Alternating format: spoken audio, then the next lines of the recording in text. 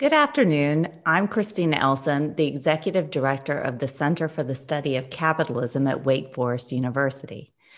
Thank you for joining us today for our discussion on revolutionizing litigation finance. This panel is part of a series on the future of capitalism. If you'd like to learn more about this series, please go to capitalism.wfu.edu to find more information, and you'll also find links to join our social media community. Nearly 20 years ago, the first litigation funding concept was developed as a way to capitalize litigation. It was first embraced by plaintiff law firms who are dependent largely upon often long delayed contingency fees. Despite opposition from some business groups, the trend has grown astronomically to the point where many large law firms have developed their own funds. There are so many litigation funders now that the market has grown to a point where money is chasing litigation. So, where will this all end and what does it all mean? Well, to answer this question, as always, I am joined by Richard Levick, Chairman and CEO of Levick, and the executive affiliate with the center who will join me to lead, lead this illustrious panel. Richard, welcome. Christina, thank you so much. And it's always so nice to be introduced only after the part where you say, impossible question. Now Richard's here to help us answer. So thank you. you know, I really appreciate that. Let, let me introduce uh, this illustrious panel. And it, it really is. Uh, we have all these leaders in the industry. So first, uh, Rebecca uh, Berrebi, who is the CEO and founder of Avenue 33, a litigation finance consultancy. Rebecca, great to see you uh, and welcome to the program. Uh, also with us, Andrew Cohen, who's a director at Burford, the leader uh, in the industry, and I think uh, innovator and revolutionary. Andrew, great to see you. Tim Scrantom, uh, who is the who is really just one of the founders of the entire industry and a founder and managing director of uh, Legis Finance. Tim, as always, great to see you and welcome to the program.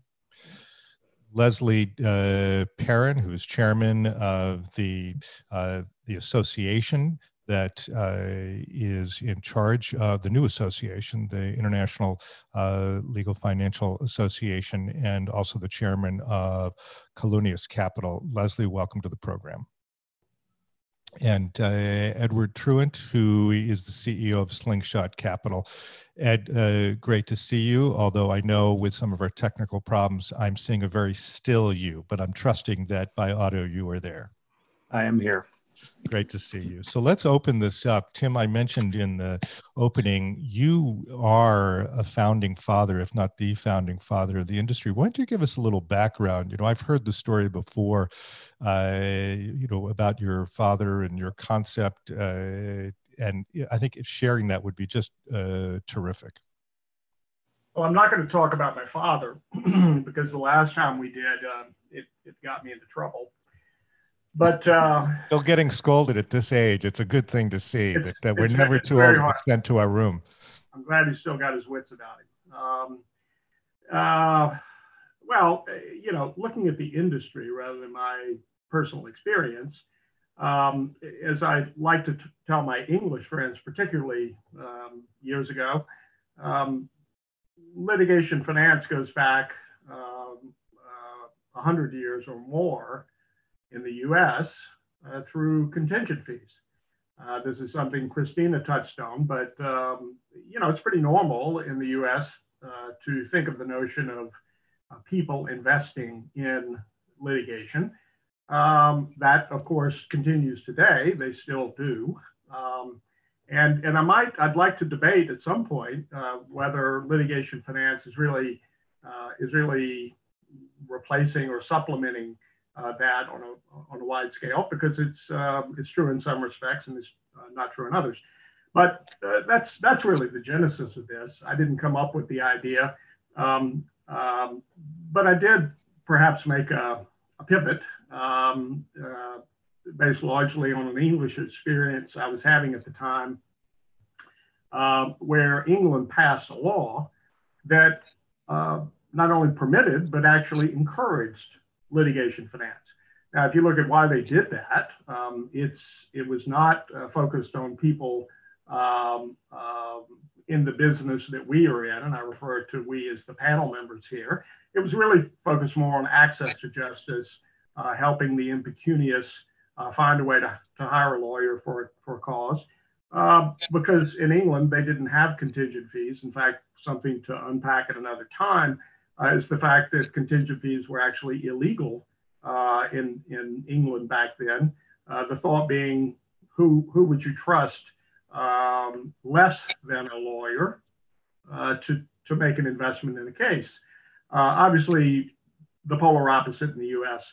Uh, but England did pass this law, and that was uh, sort of a springboard, if you will, to uh, the notion that outside capital can invest not just in the uh, litigations of the uh, impecunious, uh, people can't afford a lawyer, but rather there was an investment opportunity. And maybe that's really the segue to this, this panel. Um, I think most of us, by the way, are focused on what I would call commercial litigation finance, right? Um, there is an entire industry that actually predates the uh, the 20 year uh, mark that Christina referred to, and that is finance, financing of consumer claims, uh, even in the United States, uh, whether they were through payday loans or advances to law firms or what have you. But but that uh, that sector uh, is is focused more on what I'll call the consumer side.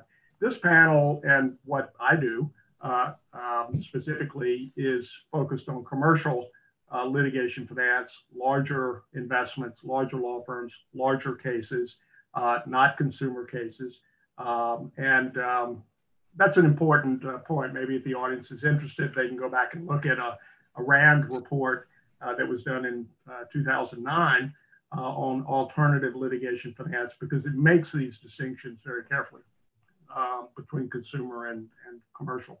Uh, my, my own experience was, um, was to launch a, a, firm called Juridica, uh, which uh, was listed on the London Stock Exchange in 2007. I'm happy to say that it was the, uh, the last um, um IPO that went on on the London Stock Exchange uh, for quite some time thereafter. Uh, that was the beginning of the financial meltdown. And so we're, we're lucky to be here. Had we been a little later, I don't know where this panel would be now, uh, but the market smiled on us, I suppose. Uh, Juridica uh, was less successful in what it did. Uh, and of course, and independently, uh, there, there were people like Leslie on our panel with Calunius that you know saw the same opportunity um, and launched his firm. Obviously, Burford that uh, Andrew is representing launched their firm, which has gone on to be the most successful uh, Juridica has uh, disappeared into the uh, into the fog of history. Uh, I'm sad to say, but, um, um, but but there you have it. So you know that's sort of the beginning. That was 2007, 2008. Richard, I don't know if I could add to that. Tim, that, that's great. And before Christine, I turned over to you, Andrew. You look like you were chomping at the bit to share a few thoughts with with some of the things that Tim was sharing. So I thought we turned over to you. Uh, I, I, completely agree uh, with Tim on, on the history of the industry um, and sort of the, the earlier entrance uh, into the market, um, and agree. You know, that's that's really where the idea of the commercial litigation finance uh, sector began. Um, and I think uh, since then, um, in the in the dozen or so years since then, um, it's it's sort of grown and and um, you know incorporated more of the legal sector than we even thought of um, back in at the founding when we were starting we were thinking okay well we'll find you know big chunky cases that need investment to be successful um, get better outcomes for usually the plaintiff side um, and you know do uh, have a net positive result for everyone involved um, you know since then we've we've realized that the risk on a single case is really hard to uh, it's an expensive risk um, and so in order to make litigation capital more accessible, um, you know, we've, we've pivoted to portfolio arrangements with multiple cases. We've, we've done much more in the side of uh, law firm investing, um, usually also against uh, a, a, portfolio of cases where a risk of a single case is, you know, is high, but you know, distributed across a portfolio of, of cases, um, you know, it's it's cheaper for the client, and you know, it's a it's a less risky proposition for the funder, um, and and it's a more accessible. Um, and you know, alongside that, as as uh, firms like uh, Juridica, Calunius, Burford have have been successful over time, um, we've seen a lot more new entrants in the market. Um, not so much on the public side, um, but uh, you know, private capital um, has gotten involved in a big way. Um, uh, and even even crowdsourced uh, capital. So, um, you know, especially in, in, the past five or six years, you've seen a lot more new entrants, a lot more capital, and I think as Christina alluded to in the beginning, you, you do see much more competition in the market, um, which is, you know, maybe, maybe, some of us on this panel are a little you know, frustrated that we actually have to compete for uh, for cases, and when, when maybe there were opportunities that we just sort of could snatch up before. Um, but I think it's a good, um, you know, in terms of you know, capitalism, it's a good uh, development because it means that uh, you know, there's better price finding um, and there's better, um, you know, pricing of the risk. Um, and that's, that's, that's a net benefit for the entire legal system. So, yeah. Christine. Yeah, Richard, I would also add, you know, the, the entire industry almost owes a bit of a, a debt of gratitude to some of the early publicly listed players because, you know, litigation finance in and of itself or legal finance more broadly is, is a pretty opaque um, industry. And by virtue of having publicly listed uh, companies with disclosure requirements, it's allowed a, a, great deal of transparency to enter the marketplace, which got investors comfortable with the, the risk reward uh, dynamic and has ultimately resulted in a lot of the private partnerships that Andrew uh, just mentioned. And so uh, I think it's been important to uh, really, as an accelerant uh, to the industry, to have some of those publicly listed players and get people comfortable with the the risks inherent in the asset class. And so uh, uh, I think that's definitely been a positive and an, an, accelerant. And I'd be remiss if I didn't mention that Burford has now listed itself on New York Stock Exchange as of October 19th. Um, and so now we're subject to a new set of uh, disclosure regulations. Um, but I think, you know, again, that that is just increasing the visibility of the litigation funding industry and comfort um, with it as an asset class. Do you think, in some ways, that the opposition, the longstanding opposition by the chamber, helped the industry mature more quickly? Maybe Leslie, you want to take that? Well, I'm, I'm not sure that um, much of what the chamber has done in relation to legal finance has been uh, useful, um, other than to try to protect those um, uh, members of the chamber that are so large that they have this inherent advantage as defendants in litigation. And they regard that advantage as their right. Um, and uh, they don't like to have it challenged by some of the people who are here on this panel. And therefore, they, they want to be the source of, of disinformation about litigation funding, about legal finance, which is inherently a commercial activity. It has nothing to do with the consumer side of settlement funding and so on that Tim mentioned in passing. Um, the, the, the, legal finance is best thought of in, in that comparison as investment banking, and consumer finance is best thought of as payday loan gaming. So that, that's the sort of confusion that the chamber is sowing in people's minds. But what the chamber has to realize is that many, many members of the chamber are using legal finance. Uh, probably more members are using finance than are paying for the Institute of Legal Reform, which is the main instrument through which the chamber sows disinformation about, about uh, legal finance.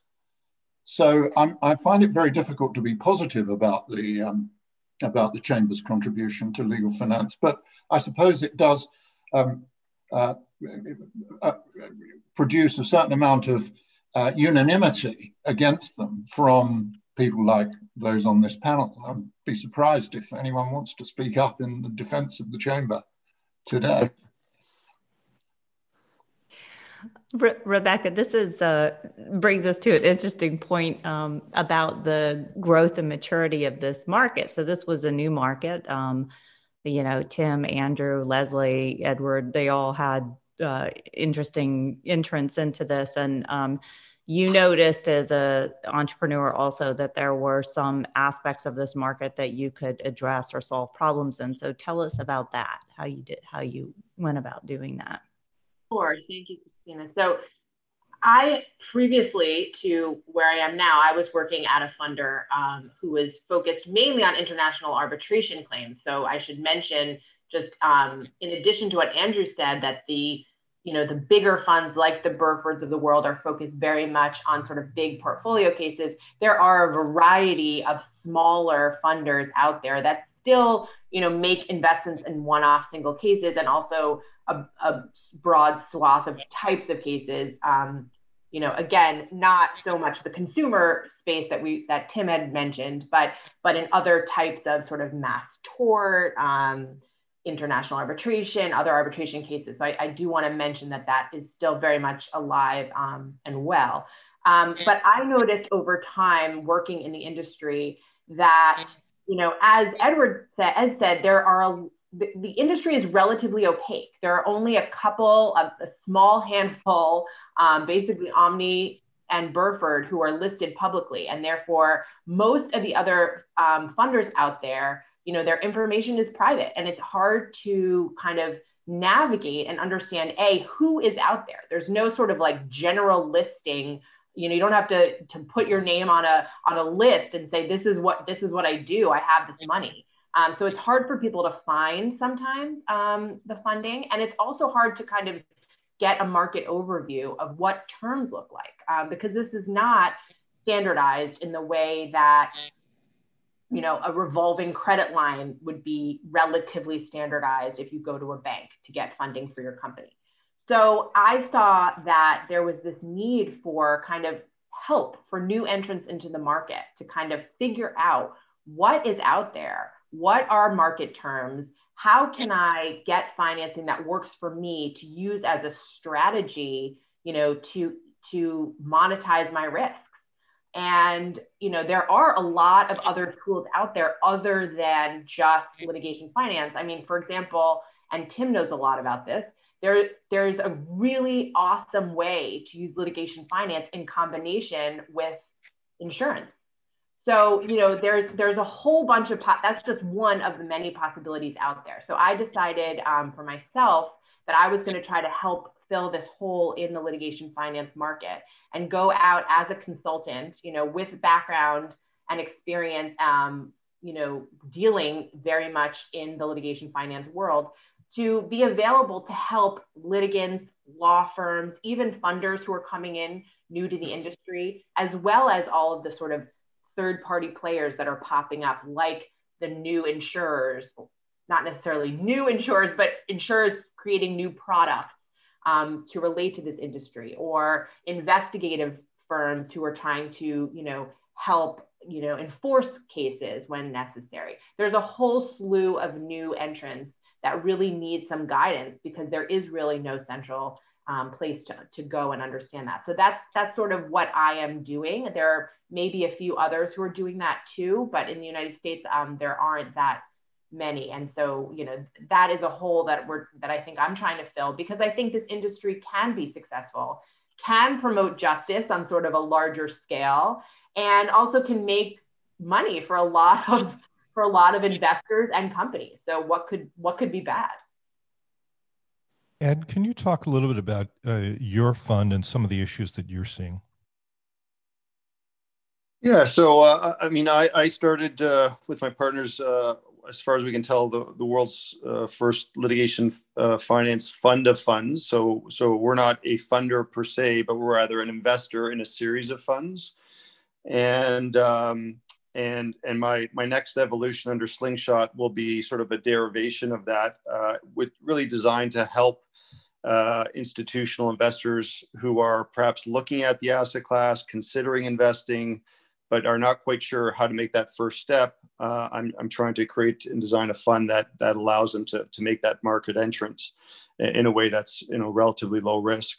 And so you know some of the, the issues that I think about on a pretty regular basis, so I'll, I'll, I'll focus a little bit more on the macro stuff, is just you know regulatory, political, uh, headline industry risk and how those are manifesting themselves and how they're getting dealt with. So, you know, we we unfortunately saw uh, what can only be uh, termed an attack by Muddy Waters on Burford, which I think was very successfully uh, countered by, by Burford.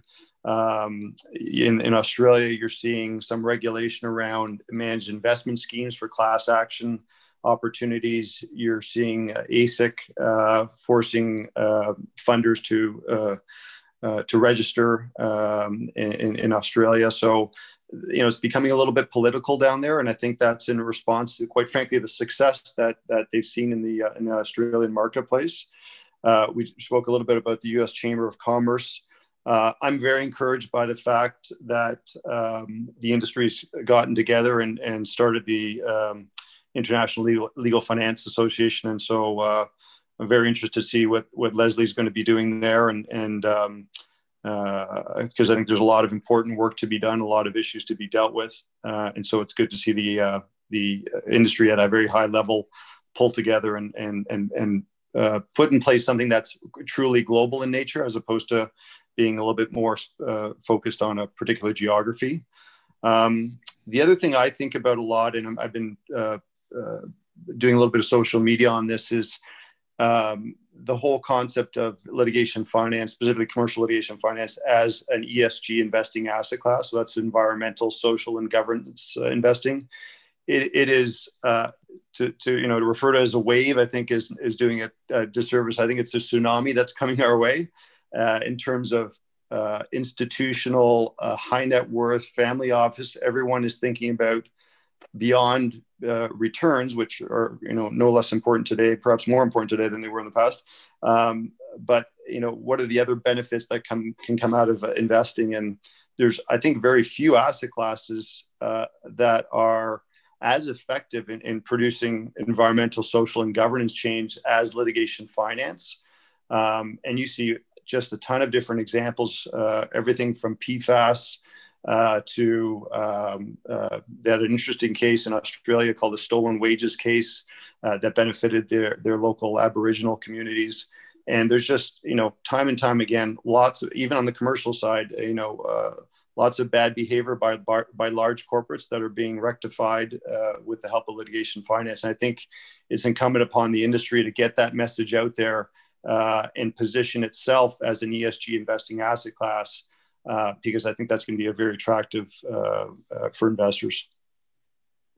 Can I, can, can yeah, I pick up a couple of those things? So, um, the truth is that legal finance is depicted as being bad for business because it's supposedly creating litigation that wouldn't otherwise exist.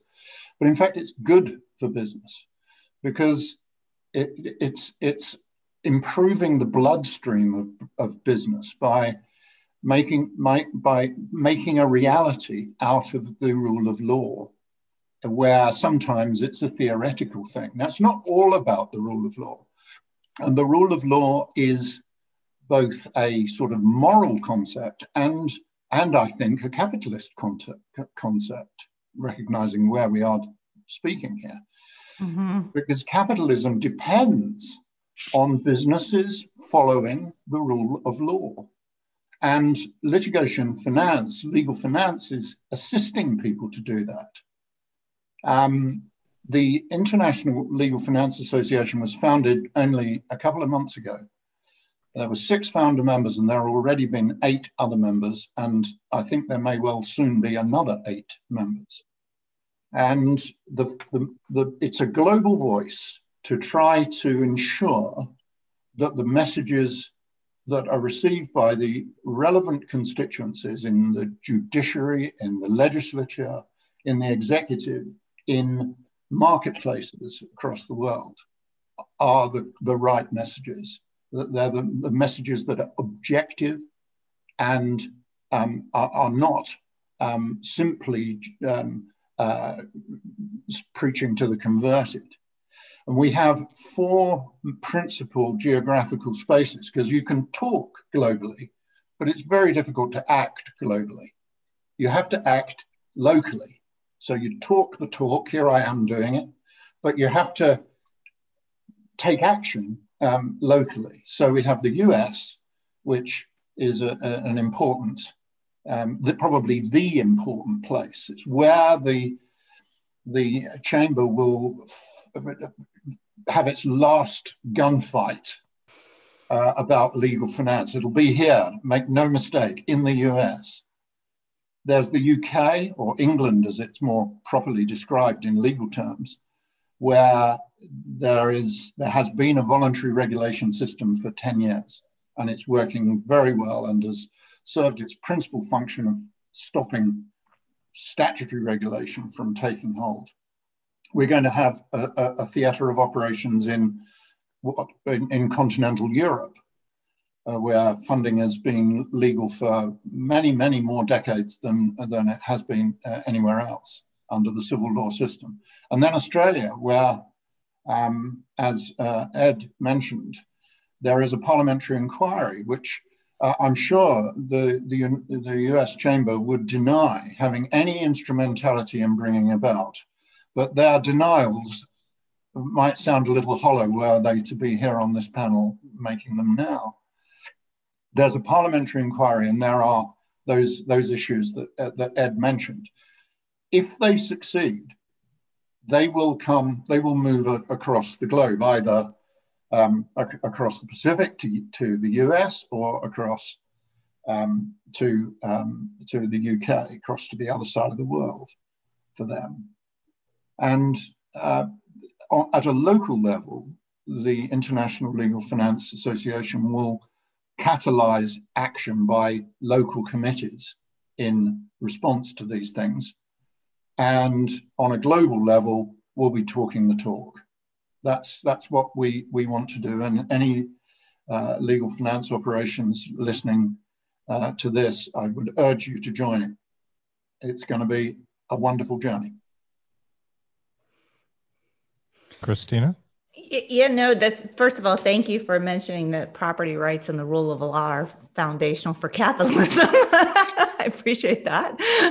um, uh, you know, cl- clearly, I mean, this is it's fascinating uh, to hear how uh, this can help uh, combat things like in in some of the big issues that we're all thinking about. Uh, you know, many people say now that um, the environment is the new economy and we need to, you know businesses the relationship between business and government um, needs to really think about how to address that. And so, h- how can this market help us make sure that you know businesses are performing to their highest level, and where do where does that part about the government making sure that governments also are um, uh, are functioning and performing in a way that makes sense. Is there a role for this kind of litigation in addressing issues that uh, we see in government, or where does that fall?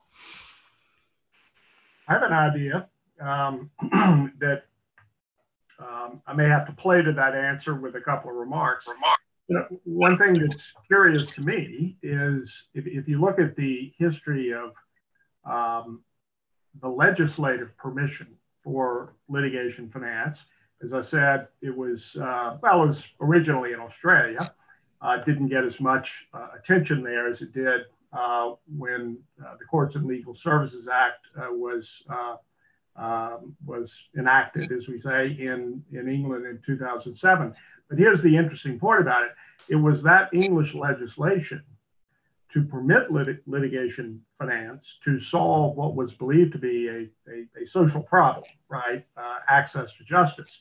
Um, that um, that really led to the, the groundswell that became what this panel is describing, right? It was not so much the Australian phenomenon, although uh, a tip of the hat is, is, is needed.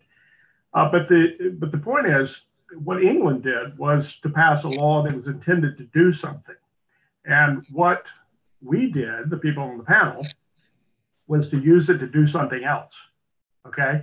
Uh, it was passed to permit consumer litigation finance. It did not, frankly, I'd love Leslie's input or others uh, with, with English experience. It was not meant to create a market for commercial litigation finance. Uh, it didn't contemplate it. Uh, and I don't think that the uh, parliamentary discussion really much paid attention to the fact that there could be this commercial, uh, this corporate B2B, if you, if you will, instead of B2C um, investment uh, milieu that would that would arise. It was it was a fluke almost. Um, and so the point maybe is one one about regulation. Um, as Leslie pointed out, uh, they've had self-regulation in the UK over commercial litigation finance. Seems to work fine. Uh, no black eyes, no uh, parade of horribles. In the U.S., there there is no regulation. Um, I think regulators realize that if they want to start regulating it, they've got to regulate the 125 year old phenomenon of contingent fees. And obviously, lawyers in legislatures are not going to let that happen. Uh, so, so right now, the world of commercial litigation finance is is navigating some pretty broad markers uh, in the you know in the sea uh, that um, that uh, are basically uh, un, uh, you know unimpeded. should there be regulation? One might ask. Um, that goes back to the maybe to the Chamber of Commerce debate. I, I personally believe there are uh, rational reasons to regulate consumer litigation finance. Um, but the problem is that litigation finance gets lumped all together. And so, what DuPont is doing with Exxon uh, could be swept into regulation when, when in fact it doesn't deserve to be. It's, it should operate in a completely free market environment. Uh, so that's important to watch as you look at the reg- regulatory landscape. You know, it was focused on consumer.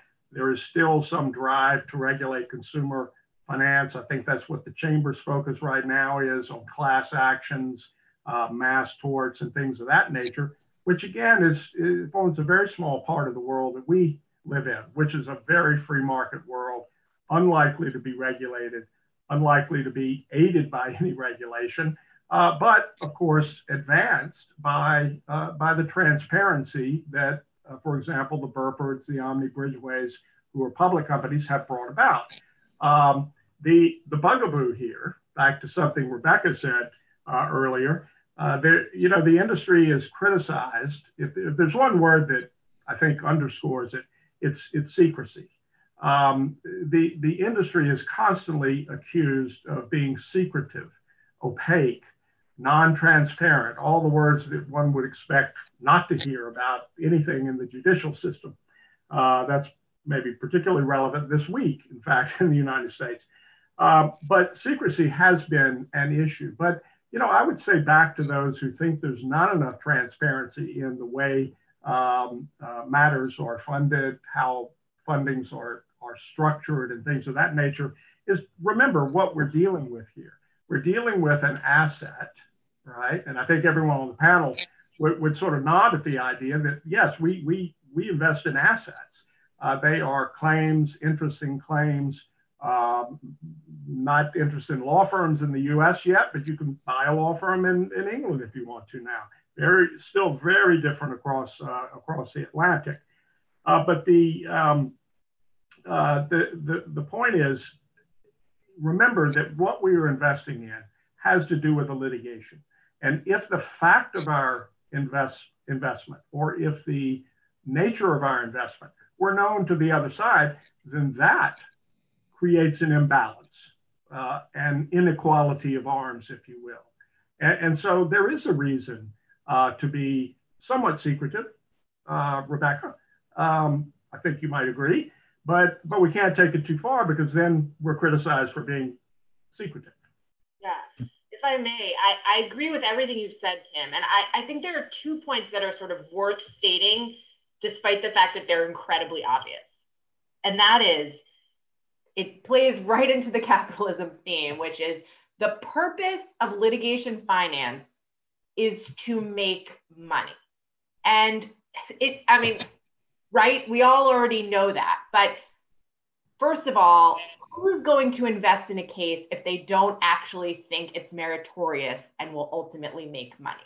I mean, that's just the fundamental basis of this entire industry. So it's such a horrible argument going back to Leslie's point that you know this kind of financing is going to encourage frivolous lawsuits. The whole point of the of the of the industry is to not invest in frivolous lawsuits, but to invest in lawsuits that have some kind of merit that will ultimately justify a return. So that's number one. And number two, I couldn't agree with Tim more that, you know, secrecy is is one thing, right? It's hard to get into this market, which is why people need to hire me. but but it's it's for a purpose. I mean, it private companies do not have to publicize how they are capitalized. That is the rule of law right now. And it's the same thing. I mean, this is I, what I'm seeing generally is sort of originally this this industry was sort of for litigators by litigators, right? I mean, that's how it started. You have to be able to understand the merit of a case in order to decide whether or not it's a winner or a loser. But what has happened is the financial markets have taken a hold of this because it's really about money. And it is just another type of asset that can be capitalized and monetized. And so, absolutely, litigators are essential to kind of advise whether or not each particular matter individually and then as a portfolio, if we're talking about sort of bigger matters, is is meritorious and is going to be a winner. But the reality is it's the same thing as capitalizing, you know, your your sheep farm. I mean, it, it's the it's using an asset that a company has and and get, making money off of it. I mean, it is the essential definition of capitalism. So, you know, I do agree that there isn't a need to regulate on a broader scale. And and of course, keep in mind, you know, a lot of these firms that are not publicly listed are private equity funds. And and there's regulation in private equity. I mean, it's not like people can you know, take your money and just go spend it anywhere. There are fiduciary obligations, there are SEC regulations. I mean, it's unregulated specifically, but we're in a capital market system that is highly regulated. So, you know, it fits into that kind of kind of um, fold. And, and I think it's it's we're remiss in saying it's completely unregulated because we're in a system that is regulated. I agree completely with that, Rebecca, because we're we're not directly regulated by a specific government agency, you know, at you know, qua litigation funding, but we're litig- we're regulated when we're in courts. A judge oversees litigation, um, and so you know, any time that the chamber complains that you know we're not transparent enough, you know, point to all the cases where disclosure of funding was found to be relevant to the case. There's not a lot of them because it's generally not relevant, but the judge has power to cause litigation funding agreements to be disclosed in the proper circumstances. What the what the chamber wants is complete open kimono. Let us look at your strategy and and what's behind you know what's behind your books, so that we can better uh, lodge defense against your you know your your uh, counterparty's claims. That's not the way the legal system works. Unfortunately, we have work product protection. We have rules in place so that it is a even playing field for both sides. Um, but uh, you know, agree completely that it is it is not uh, completely unregulated. It's just not regulated in the way that um, I think the chamber would want it to be regulated in a way that would shut down the industry so that they wouldn't have to worry about us anymore. The judge is a regulator in many cases, right? Because the judge, if the judge says, "I want to see the funding agreement," what do you say? Well, we, if the judge if the judge is convinced that the rel, that the funding agreement is relevant and and discoverable, it's not otherwise covered by work product in whatever circumstance, then we produce it. That's you know we follow the rules because we are operating within the rules. We need the legal system to be functioning properly, and we have to obey those rules. Um, it is it is simply that in a general matter, as a general matter, litigation funding is not relevant to the case. What does it matter if you're being funded by your Uncle Joe or a litigation funder? It doesn't have any relevance to the claim you're making against the defendant. Um, that's that is a key point that I think the chamber elides frequently. Or, or even more broadly than that, Andrew, like a company that's taking on operating cash from Citibank and yep.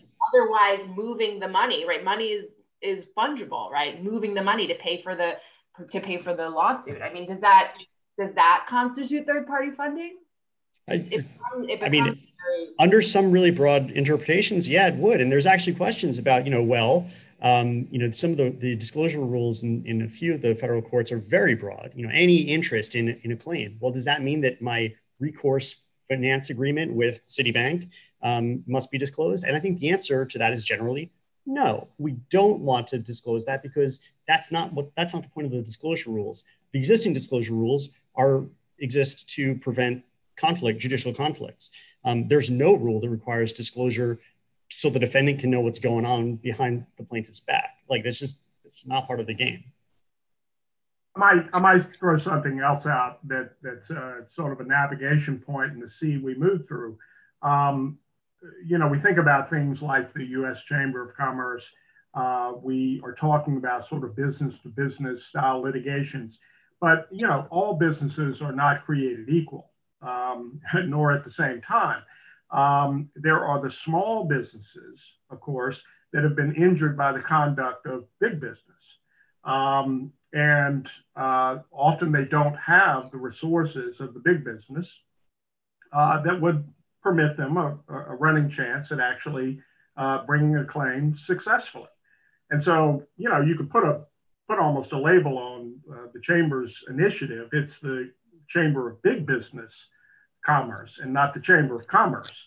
All right. Now they do have members that are small, and often it is those businesses that simply cannot afford the very high cost of litigation in, in, in England or the US or international arbitration that have to have access to this. So uh, I, I, guess I'll say, you know, I dismissed access to justice as really more consumer phenomenon, but it does exist in the business world as well.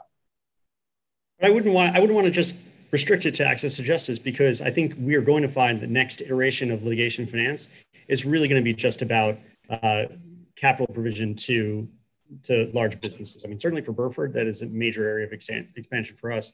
You know, there are businesses, large businesses, Fortune 100 companies that have tons of litigation or potential litigation on their books. They have no way to monetize those assets. They simply sit on the books and they're generally not valued at all the, the provision of litigation capital can unlock available capital they didn't know existed.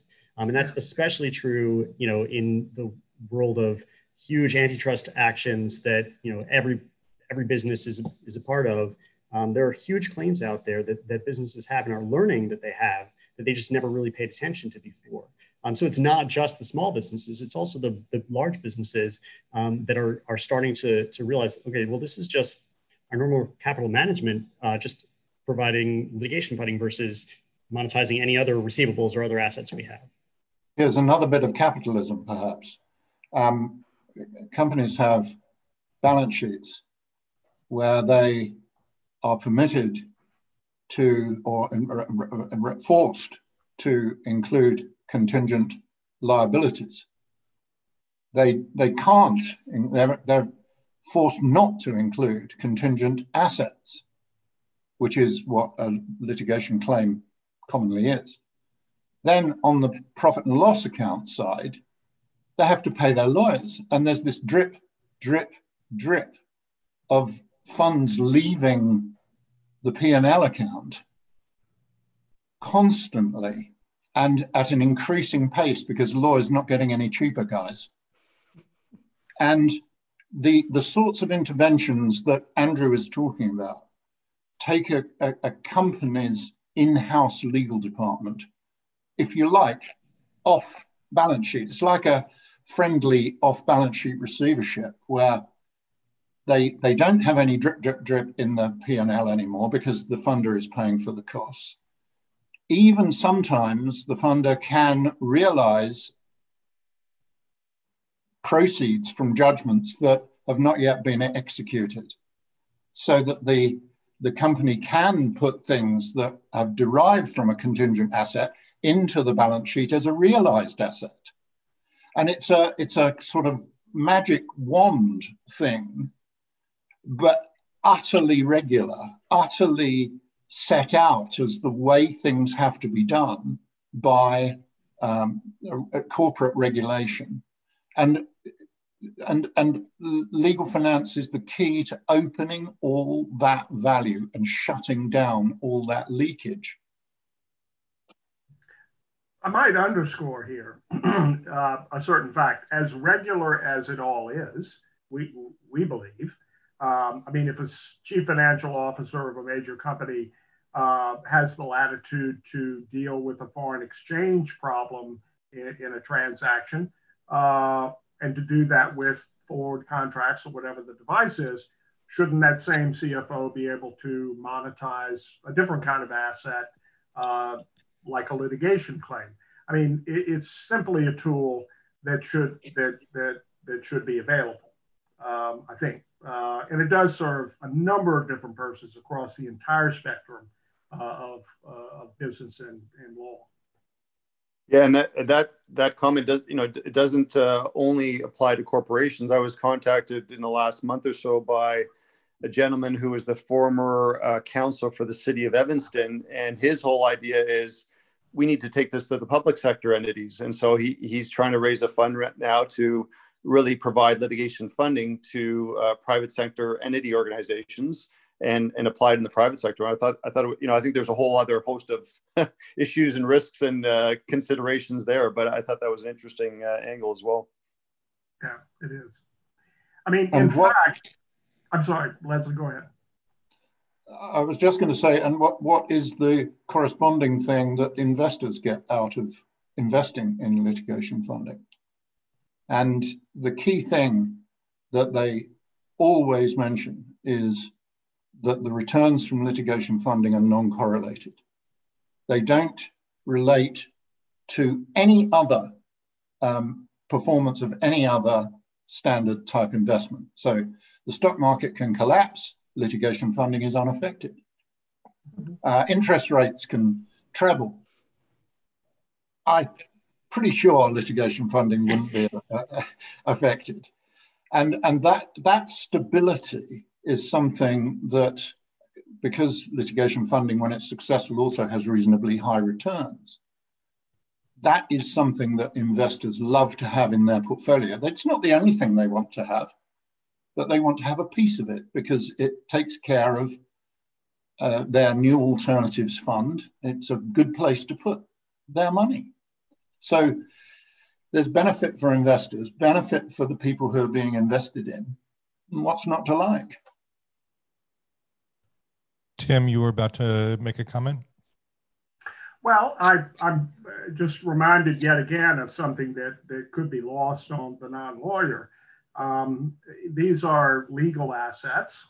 That seems to be kind of the growing uh, moniker for, for this wider industry. I mean, it was alternative litigation finance. In England, it was litigation funding in the beginning, and these terms have kind of morphed a little bit, but now it seems like the broadest term is, you know, legal assets or legal claims. However you characterize it, uh, they they're very complex. They're esoteric. Um, they are understood principally by lawyers. I think that's changing. I think that the the shape, risk, bankability, investability of uh, of claims now is is uh, in, part departing from being the exclusive domain of, of lawyers. This is a point Rebecca made. Um, finance people are coming into this business and doing perfectly well, and in fact, adding uh, a dimension to, to the industry that it, that it sorely needs. Um, but, but they are complex, risky investments. Why are they risky? Are they risky because they're bad? No, they're risky simply because you don't know how a case will come out. You just there's no way of knowing right? And and it does have to do with things like what the judge ate, ate for breakfast in the morning uh, whether he got in a fight with his wife or husband last night. I mean these are issues that still go into this very strange sausage called the law. Um, so it takes special specialists uh, to approach the market to be in the market um, uh, so yeah complexity is really the point i wanted to make very difficult assets. And if I may just add one thing, I completely agree with you, Tim. I also want to just say, in sort of the the biosphere of litigation finance, there's, as I mentioned before, there are a lot of new players coming in to sort of supplement the skills of the lawyers and the funders. Like, for example, there's a lot of AI happening in the legal industry in general, but now people are are paying for it using litigation finance. So, you know, there's a whole bunch of different ways to evaluate the merits of these claims. I also know about non, you know, lawyers who are not funders and they are not working as law firms. So, they, so not providing legal advice, but actually valuing cases. So evaluating the case and the merits of the case and sort of providing a value estimate. Um, listen, we can talk about whether this is valid or not valid or useful or not useful, but the reality is it's happening. There are supplemental players popping up to sort of perform all these services, you know, in an effort to kind of limit the risk that's, you know, separate, a little bit separate and apart from the legal analysis of the underlying cases. So absolutely. Yeah. Sorry, go ahead. Andrew, please go ahead. I was, I was just going to say, Rebecca's exactly right. I mean, traditionally, lawyers are good at litigators are good at litigating their cases. They are they've been less good at saying, well, it doesn't make financial sense for you to continue paying me, um, so stop. Um, that's a hard thing for a law firm to say. Um, and so, yeah, there, there is a place. I mean, litigation funding can serve that that purpose by refusing to fund a case that is not, you know, not economically viable. Um, but yeah, the, the consulting industry here is growing. The AI, uh, I, I, will admit, as an underwriter, uh, I have some doubts at the ability of, of an AI to properly underwrite a case. Um, but uh, certainly that is, is part of the overall ecosystem that is, that is developing. You know, Andrew, one might argue that it's almost impossible over the last 30, 35 years for a lawyer to say, ah, it's time for you to stop funding me. It doesn't make economic sense. Since Steven Brill came along and, you know, we've got the AmLaw 100 and the profits per partner and the revenue per, per partner, I think we now have uh, baseball trading cards of lawyers. And uh, you know, so in some ways, you provide this uh, an oversight in terms of what's uh, economically viable and an important voice for for the client. So with that, we only have about six minutes left in our program uh, before we turn over to Christina to close. So I thought maybe we could start, Rebecca, with you and a couple of closing thoughts, and then we'll work our way around the room. Sure. I guess what I would just say is this market you know, I really think is here to stay. And I think it's for the benefit of, you know, justice. It's for the benefit of people um, who are, you know, have been wronged. And I and I like I like that because I like the idea of working and sort of wearing a white hat. But I but I genuinely believe that that is true. Um, I do think it's evolving and I do think it's shifting and I don't think it's going to look the same in five years as it looks now, um, just as though it didn't, doesn't look the same now as it does did five years ago. Um, I think we're going to see bigger money, more portfolios, um, because that inherently kind of reduces the binary risk that um, Andrew was talking about earlier.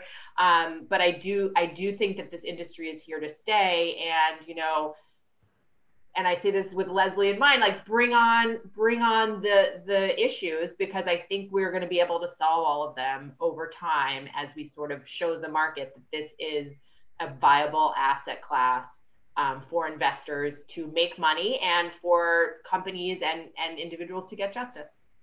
Rebecca, before I turn it over to Ed for his closing thoughts, I just want to say you used a term that perhaps some of our listeners won't be familiar with in these cynical times. I think that word was justice. So we, we may need to explain that to everyone. Um, Ed? Yeah, um, listen, I'm really excited. I think we're at a really interesting point in time uh, from the perspective of if you look at the confluence of uh, the legal industry, finance as it relates to legal industry, insurance, and ultimately private equity.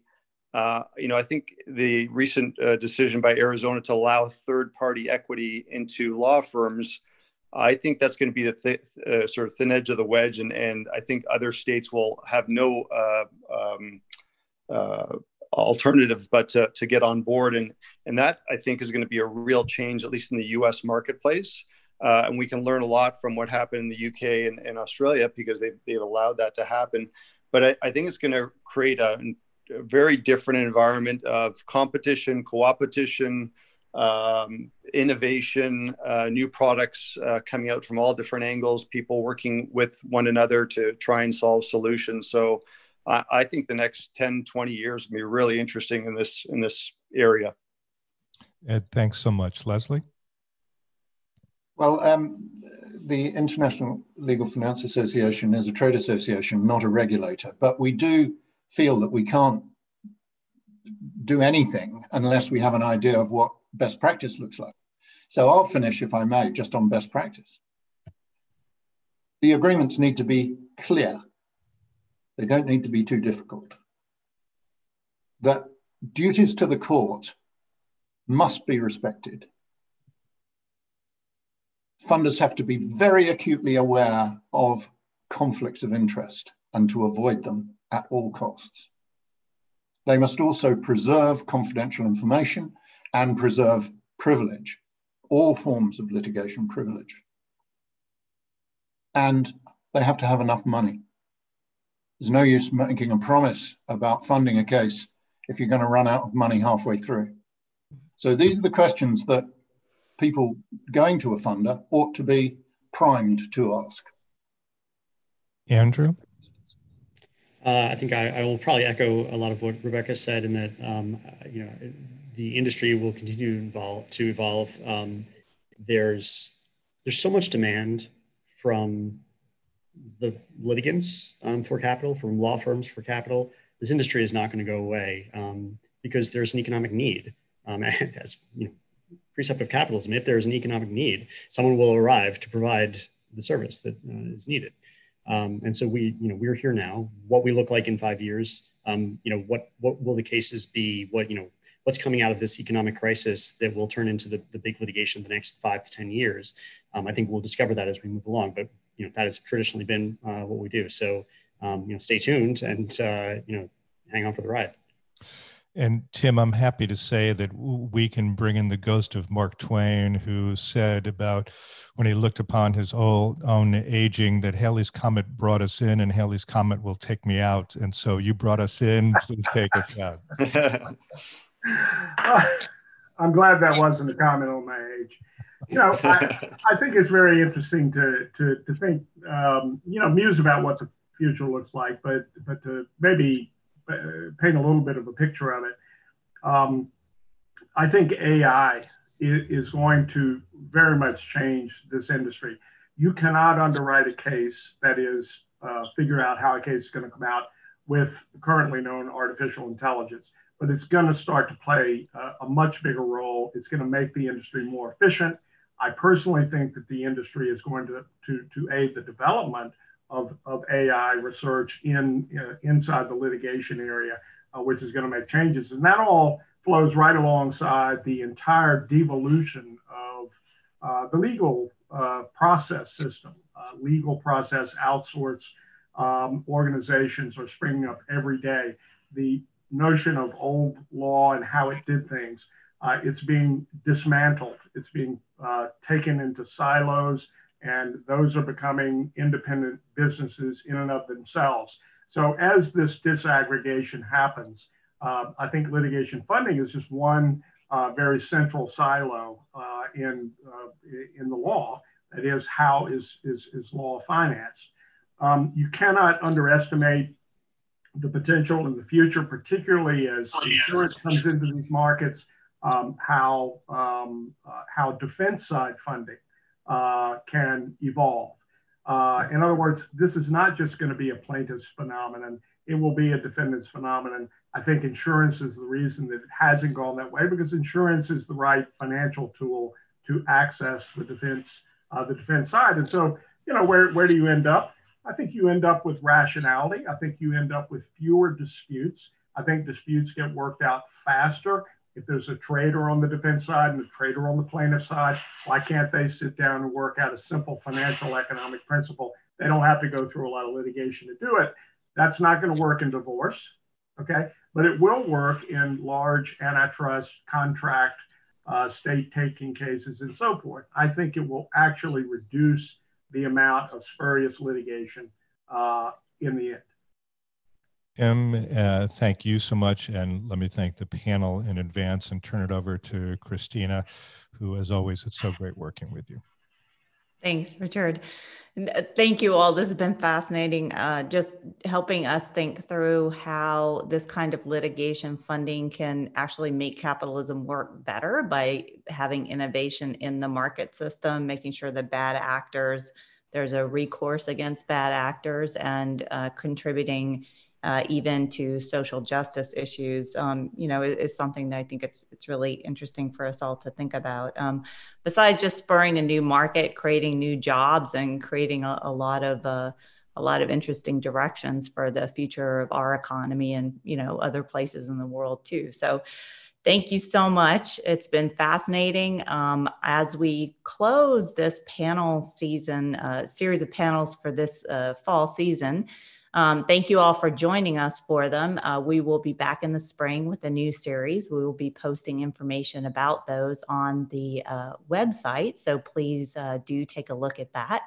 And uh, we wish everyone a, a happy end of the year, happy and healthy end of the year. And once again, thank you to all the panelists. Thank you, Richard. Thank you.